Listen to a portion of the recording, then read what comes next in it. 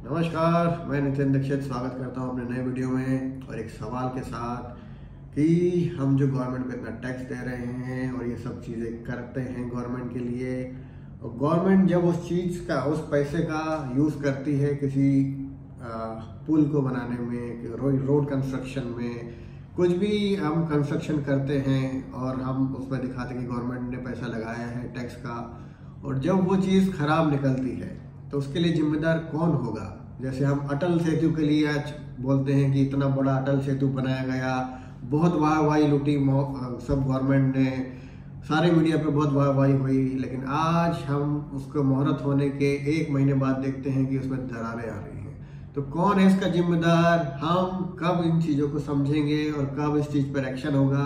कि गवर्नमेंट जब पैसा लगा रही है तो उसे पूरा तरीके से सही यूज़ होना चाहिए और जो भी प्रोडक्ट बनाए मज़बूत होना चाहिए।